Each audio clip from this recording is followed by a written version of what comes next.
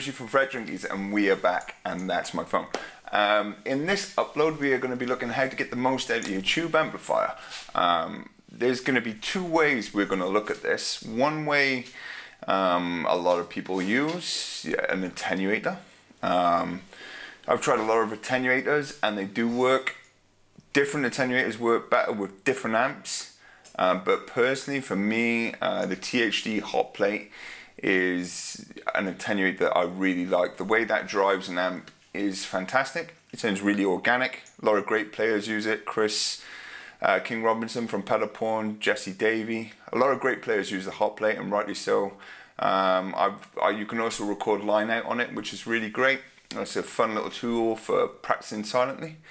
Um, but it does have something that it does and does add some sort of character that sounds a little bit synthetic. Um, but as I said, it's still the best one I've tried. Or there's the other option. Um, and this is the trick that I've seen a lot of pros do, uh, more famously probably Marcus King.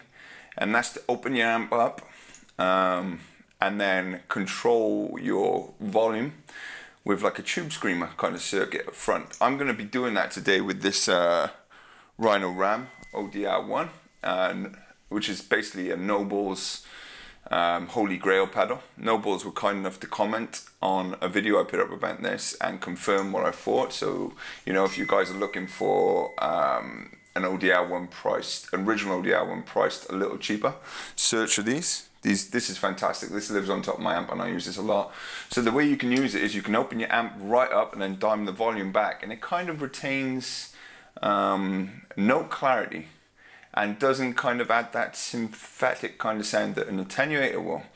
Um, so yeah, this video is a little bit of talking, but I'm just trying to get across a point of two pretty cool ways.